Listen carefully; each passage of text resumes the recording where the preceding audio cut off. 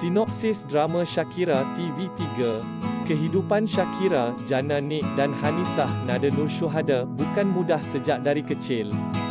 Dua beradik yatim piatu menumpang teduh di rumah Makcik Aida, Marisa Yasmin, adik tiri arwah ibu mereka yang tamak, pentingkan diri sendiri dan sanggup buat apa saja demi mendapatkan harta peninggalan arwah ibu bapa mereka. Selepas Hanisah tamat pengajian dan baru mula bekerja, dia telah bercinta dengan Zakwan Wan Raja. Walaupun hanya dua bulan berkenalan, Hanisah telah berkahwin dengan Zakwan atas rancangan Makcik Aida.